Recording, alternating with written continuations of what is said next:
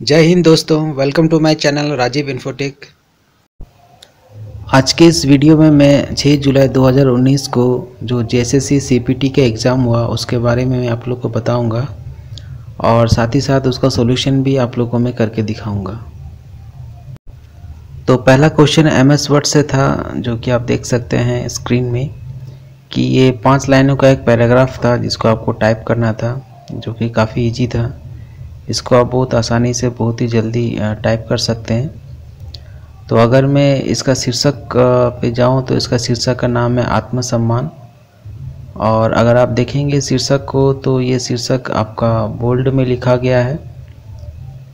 तो आपको शीर्षक को बोल्ड में लिखना है और साथ ही साथ देखिए ये अंडरलाइंड भी किया हुआ है। तो आपको इसको अंडरलाइन भी करना है। तो ये दो मूल बातें जो आपको याद रखनी है शीर्षक लिखने के टाइम में। इसमें आप गलती करेंगे तो आपका कुछ नंबर इसमें कट सकता है। और दूसरा आप पैराग्राफ को अगर देखेंगे या पैसेज को देखेंगे तो ये आपका जस्टिफाइड है। तो आपको इसको टाइप करके जस्टिफाइड भी करना है। ये करना नहीं भूलिएगा आप लोग।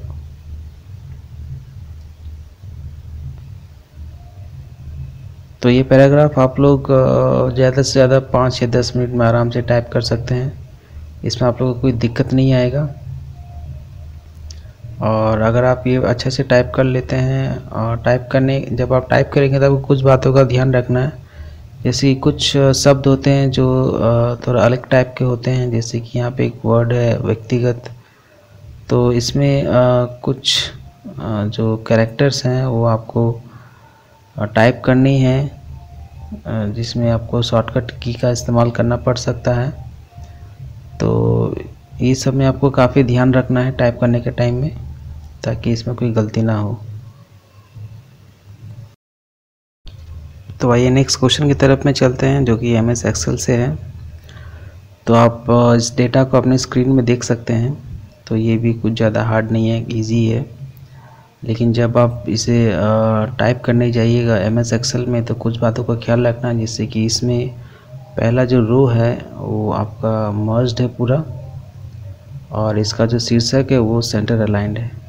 तो आपको ये पहला रो को मर्ज एंड सेंटर अलाइन करना है। इस बात का आपको ख्याल रखना है। और इसके बाद जो शीर्षक है, ये आपका बोल्ड में भी है तो आपको इसको बोल्ड में भी करना है।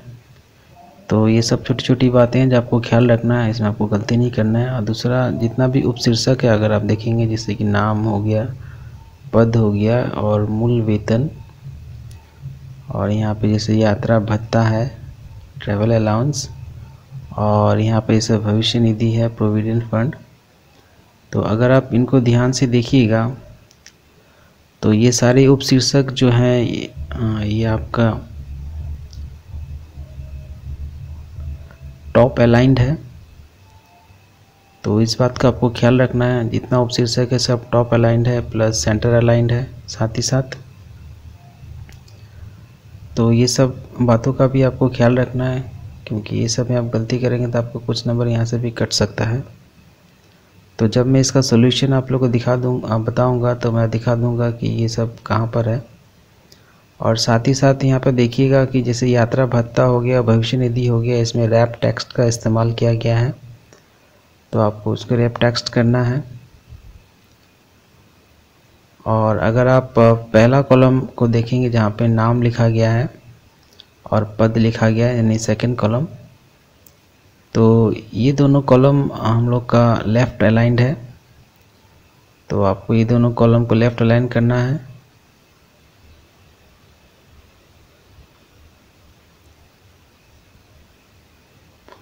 और जो मूल वेतन का जो कॉलम है, ये आपका सेंटर अलाइंड है। तो देखिए, ये सब में ही गलती हो सकता है। तो आप लोग ध्यान दीजिएगा कि कौन सा सेंटर अलाइंड है, कौन सा लेफ़्ट अलाइंड है, कौन सा राइट अलाइंड है। ये आपको, ये आप लोगों को देखकर टाइप करना पड़ेगा अपने एम एस एक्सेल सीट पर।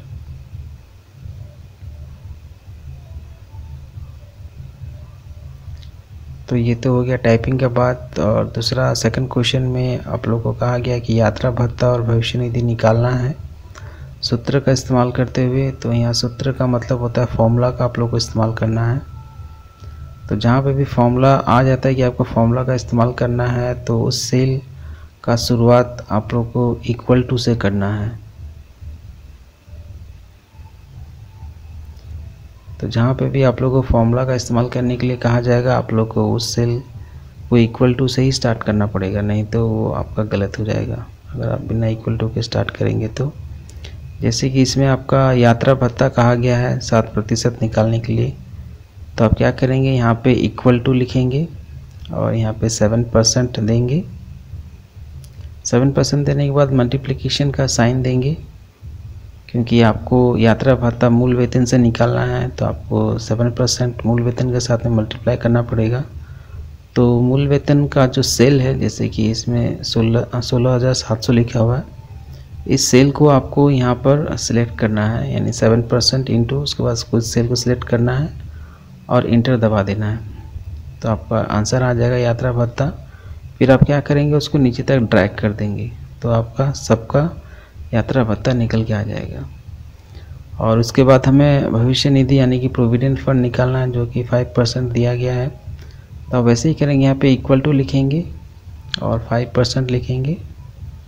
और उसके बाद मल्टीप्लिकेशन का साइन देंगे और मूल वेतन के साथ इसको मल्टीप्लाई कर देंगे। यानी कि यहाँ पे आप लोग को इसको यहाँ पे सिलेक्ट करना पड़ेगा इस सेल को। और इंटर दबाना पड़ेगा।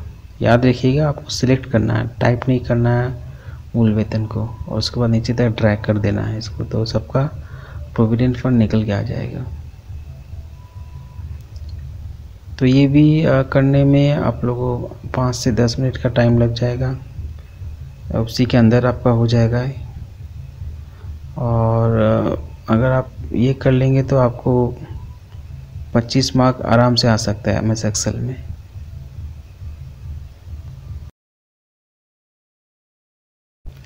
तो चलिए हम इस एक्सेल का सॉल्यूशन स्टार्ट करते हैं। तो अगर आप, जैसे मैंने कहा था, हम लोग का जो पहला रो है, वो हम लोग का मर्ज एंड सेंटर है। तो सबसे पहले तो आपको पहला रो को सिलेक्ट करके इसको मर्ज एंड सेंटर करना पड़ेगा। देखिए, आपका पहला रो मर्ज एंड सेंटर है।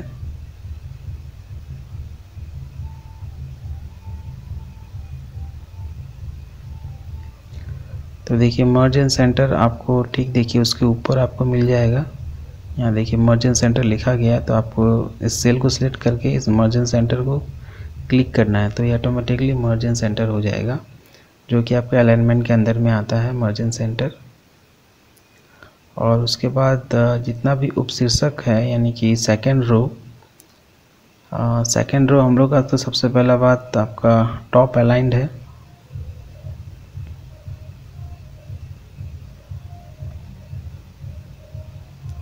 देखिए टॉप एलाइन का बटन येला है, जहाँ पे मैं सर्कल कर रहा हूँ। या टॉप एलाइन का बटन है तो आपको इसको सेल को सिलेक्ट करके टॉप एलाइन का बटन को सिलेक्ट करना है। तो वो सारी रो टॉप अलाइंड हो जाएगा।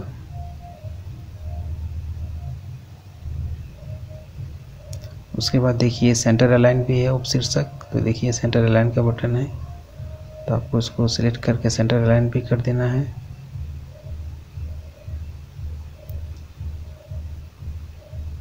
और ये जो पहला दो कॉलम है, ये आप लोग का लेफ़्ट अलाइंड है। तो इन दोनों को सिलेक्ट करने के बाद आपको इसको लेफ़्ट अलाइन कर देना है। देखिए लेफ़्ट अलाइन का बटन ये है, जहाँ पर मैं सर्कल कर रहा हूँ।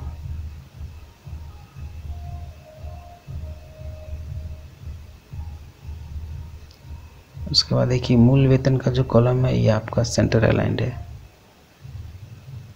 तो आपको इसको सेलेक्ट करने के बाद सेंटर लाइन कर देना है।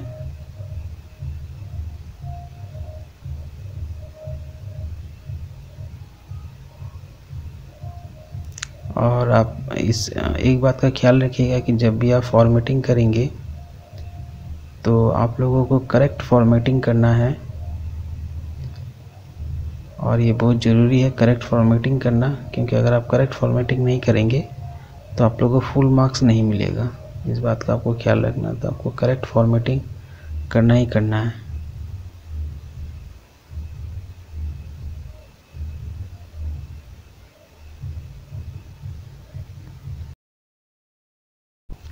तो चलिए अभी फॉर्मूला का इस्तेमाल करते हुए हम लोग यात्रा, भत्ता और भविष्य निधि निकालते हैं।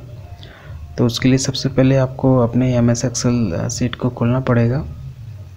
देखिए, यहाँ पे यात्रा भत्ता सात प्रतिशत और मूल वेतन पाँच प्रतिशत दिया गया है। तो सबसे पहले हमें एम एस एक्सल खोलना पड़ेगा और यात्रा भत्ता के ठीक नीचे जो सेल है, उसको आपको क्लिक करना है और इक्वल टू लिखना है। और उसके साथ सेवन परसेंट लिखना है। और उसके बाद आपको मल्टीप्लिकेशन का साइन देना है और आपका जो मूल वेतन का जो सेल है, उसको सिलेक्ट करना है और इंटर दबा देना है। तो आपको यात्रा भत्ता निकल के आ जाएगा, उसके बाद आपको नीचे तक ड्रैग कर देना है। तो देखिए, सब लोगों का यात्रा भत्ता निकल के आ गया है। और इसके बाद आपको भविष्य निधि यानी कि प्रोविडेंट फंड निकालना है। तो देखिए प्रोविडेंट फंड यहाँ पे फाइव परसेंट दिया गया है। तो आप क्या करेंगे, यहाँ पर इक्वल टू लिखेंगे और फाइव परसेंट टाइप करेंगे। उसके बाद मल्टीप्लिकेशन का साइन देंगे। और जो आप लोग का मूल वेतन है, उसको सिलेक्ट करेंगे और इंटर दबा देंगे। और उसके बाद इसको ड्रैग कर देंगे नीचे तक। तो देखिए, सबका प्रोविडेंट फंड यानी कि भविष्य निधि निकल के आ गया है। तो हम लोग ने फॉर्मूला का इस्तेमाल करते हुए यात्रा भत्ता और भविष्य निधि निकाल दिया और उसके बाद इसको आप सेव कर दीजिए। नेक्स्ट क्वेश्चन हम लोग का एम एस पावर पॉइंट से है, जिसमें कहा गया कि हमें चार स्लाइडों का प्रेजेंटेशन बनाना है। और स्लाइडों का इंस्ट्रक्शंस नीचे दिया गया है। तो आपको इस बात का ख्याल रखना है कि आपको चार ही स्लाइड का प्रेजेंटेशन बनाना है, ना उससे एक ज़्यादा, ना उससे कम। तो पहला क्वेश्चन में आप लोग को स्वागतम लिखना है। तो ये काफ़ी इजी है, आप लोग इसे आसानी से कर सकते हैं। और लेकिन आपको इस बात का ख्याल रखना है कि ये जो स्वागतम लिखा गया है, ये आधा, म लिखा है लास्ट में। तो आपको जब टाइप करेंगे, तब आपको आधा म ही लिखना है, पूरा म आपको नहीं लिखना है। इस बात का आपको ख्याल रखना है। यानी मेरा कहने का मतलब जो दिया गया है, जैसा दिया गया है, आपको वैसा ही टाइप करना है। यानी कि आधा म लिखना है, पूरा म आप लोग को नहीं लिखना है। इस बात का आपको ख्याल रखना है। जैसा क्वेश्चन पेपर में दिया रहेगा, आप लोग को वैसा ही टाइप करना है। और अगर आप इसका क्वेश्चन नंबर फोर देखेंगे तो वो भी वैसा ही है। धन्यवाद, आपको लिखना है। तो क्वेश्चन सेकंड और क्वेश्चन थर्ड में का, का सोल्यूशन मैं आप लोग को दिखा दूँगा बना के। बाकी वन और फोर तो काफ़ी ईजी है वो आप लोग आसानी से कर सकते हैं। और इसमें चार्ट भी आपको बनाना है इससे क्वेश्चन नंबर थर्ड में। तो आपको बार या चार्ट दोनों में से कोई एक ही चार्ट बनाना है इस बात का आपको ख्याल रखना है। दोनों चार्ट मत बना दीजिएगा आपको एक ही चार्ट बनाना है। क्वेश्चन के अनुसार आपको ऐसा सुविधाजनक लगे आप ऐसा चार्ट बना सकते हैं। तो चलिए एम एस पावर पॉइंट का क्वेश्चन नंबर सेकंड का सोल्यूशन करते हैं। इसमें हमें कहा गया कि एम एस वर्ड में लिखे गए अनुच्छेद को शीर्षक से दूसरे स्लाइड में प्रविष्ट करें। तो आप, आपने जो भी एम एस वर्ड में टाइप किया हुआ होगा, उसको सेकंड स्लाइड में हमें इंसर्ट करना है।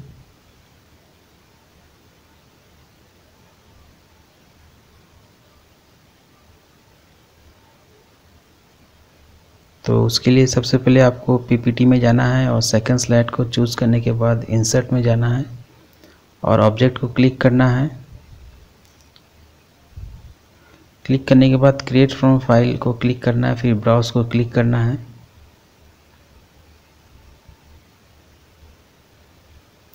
और उसके बाद आप लोग का कंप्यूटर में जहाँ पे भी वो सेव होगा तो आपका सी डी ई एफ़ कोई भी एक ड्राइव में सेव हो सकता है ये आप आ, आप लोगों के इंस्ट्रक्चर से पूछ सकते हैं कि ये कहाँ पे सेव हो रहा है आप लोग जो भी काम कर रहे हैं। और इसके अंदर जो भी फोल्डर होगा आपको उसको चूज़ करना पड़ेगा। उसके बाद ये इंसर्ट हो पाएगा। तो जैसे कि मैंने डेस्कटॉप में सेव कर रखा तो मैं डेस्कटॉप को चूज़ करूँगा यहाँ से। और डेस्कटॉप के अंदर मैंने जिस फोल्डर में रखा है अपने फाइल्स को उसको चूज़ करूँगा। उसको ओपन करूँगा और फिर उसके बाद मैंने एम एस वर्ड में जिसमें भी बनाया होगा, उसको मैं सिलेक्ट करूँगा और ओके दबा दूँगा। फिर और एक बार ओके दबाऊँगा तो मेरा जो भी एम एस वर्ड का फ़ाइल होगा, वो सेकंड स्लाइड में इंसर्ट हो जाएगा। देखिए इंसर्ट हो चुका है। और इसके बाद क्वेश्चन नंबर थर्ड की तरफ़ में चलते हैं। तो क्वेश्चन नंबर थर्ड में कहा गया कि एम एस एक्सेल में प्रविष्ट किए गए डेटा के अनुसार पाई चार्ट अथवा बार चार्ट का निर्माण कर प्रविष्ट करें। तो आपको पाई या तो बार चार्ट बनाना है। तो उसके लिए सबसे पहले आपको एम एस एक्सेल सीट को खोलना पड़ेगा। देखिए इस टाइप का जब डेटा रहेगा जो काफ़ी लंबा होता है तो सबसे अच्छा रहता है कि आप लोग बार चार्ट ही बनाएँ। क्योंकि पाई चार्ट में सब डेटा नहीं आता है आ, वो हर डेटा के लिए नहीं बना है वो तो आप क्या करें? सबसे पहले पूरे अपने डेटा को सिलेक्ट करें।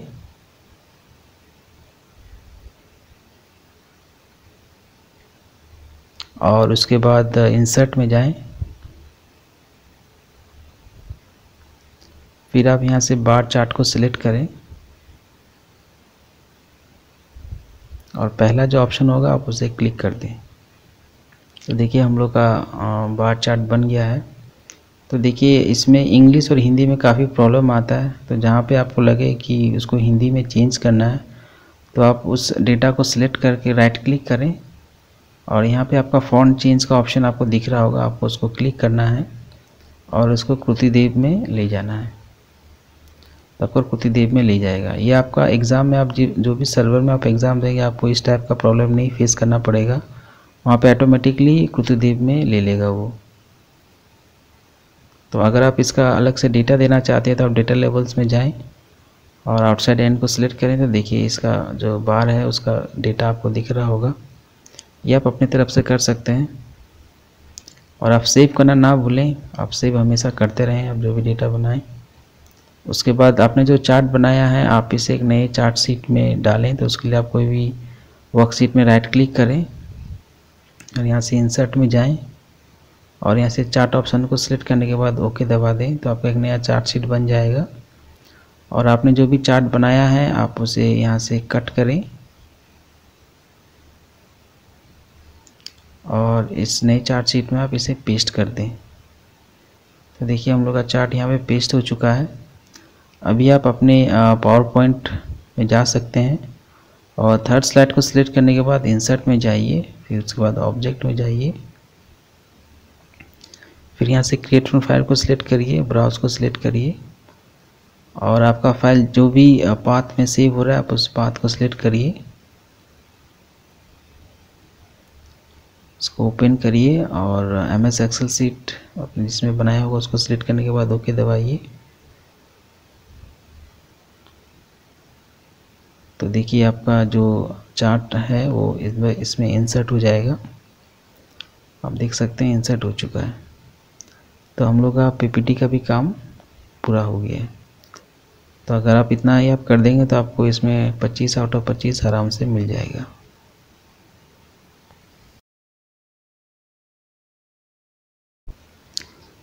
तो आइए नेक्स्ट क्वेश्चन की तरफ़ में चलते हैं, जो कि ईमेल का है। इसमें कहा गया कि उपयुक्त तीनों प्रश्नों के उत्तर तैयार करने के बाद ईमेल के माध्यम से दिए गए पते पर प्रेक्षित करें। यहाँ पे तीनों प्रश्न का मतलब हो रहा है आपका वर्ड और उसके बाद एक्सेल और उसके बाद पावर पॉइंट तो आपको तीनों क्वेश्चन को सॉल्व करने के बाद इसका आपको अपने ईमेल पे इसे अटैच करना है। मगर इस बात का ख्याल रखिएगा कि आपको सबसे पहले पूरा सेव करना है उसको। उसके बाद ही आप लोग को उसको अटैच करना है। बिना सेव के अटैच नहीं करिएगा क्योंकि कोई फ़ायदा नहीं होगा बिना सेव के अटैच करने का। उसके बाद ही आप लोग उसे सेंड करिएगा। तो इसमें आप आराम से 25 नंबर उठा सकते हैं बस इतना थोड़ा काम करने पे।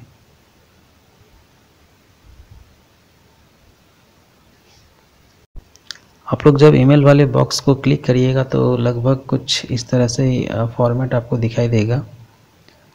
तो सबसे पहले आपको क्या करना है, जहाँ पे सब्जेक्ट लिखा रहेगा, वहाँ पे आपको अपना लॉगिन आईडी लिखना है। ये टू के नीचे में ठीक आपको सब्जेक्ट नज़र आ रहा होगा। आपको यहाँ पे अपना लॉगिन आईडी लिखना है। और सब्जेक्ट के नीचे जो सादा रंग का जो जगह है, इस जगह को हम लोग कंटेंट बोलते हैं। और इस कंटेंट के अंदर आपको सबसे पहले अपना नेम लिखना है।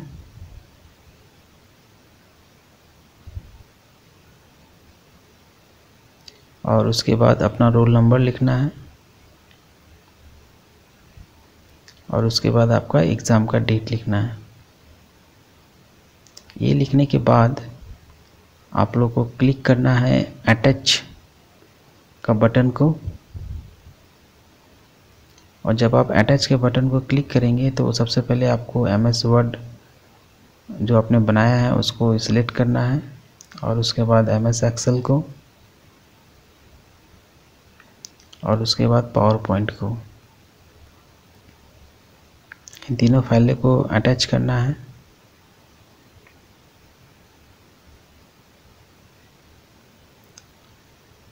और उसके बाद ही आप लोगों को इसको सेंड करना है। अटैच करने के बाद आप लोग को सेंड करना है ईमेल इस बात का आपको ख्याल रखना है। और और एक ख़ास बात इसमें यह है कि आपको एक ही चांस दिया जाएगा ईमेल भेजने का। तो बिना सेव किए आप लोग अपने डॉक्यूमेंट्स को अटैच मत करिएगा। सेव करने के बाद ही अटैच करिएगा।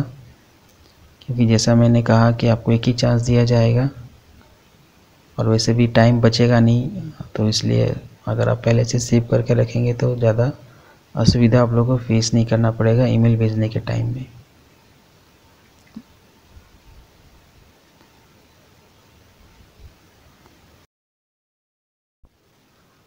Thanks for watching my video please मेरे वीडियो को शेयर भी करें और लाइक भी करें।